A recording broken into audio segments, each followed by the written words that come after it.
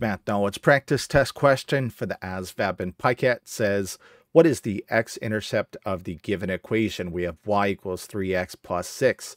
So the first thing I want to point out is that the x-intercept is the point at which the line crosses the x-axis. And as it happens, that point looks like this. It's going to be some value x, but our y value is going to be 0.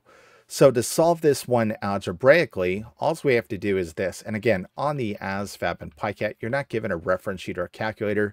So I recommend you get in the habit of copying things down and solving them on your own scratch paper.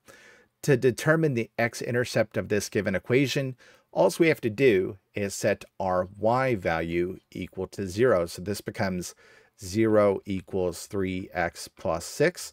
Now that we've done that, all we have to do is solve for x, which is going to be our x-intercept. And so let's do that by first subtracting 6 from both sides. This says 3x equals 0 minus 6 is negative 6. And let's divide both sides by 3 now to get x by itself. This crosses out, leaving us with x over here. Negative 6 divided by 3. Again, a negative divided by a positive is going to be a negative.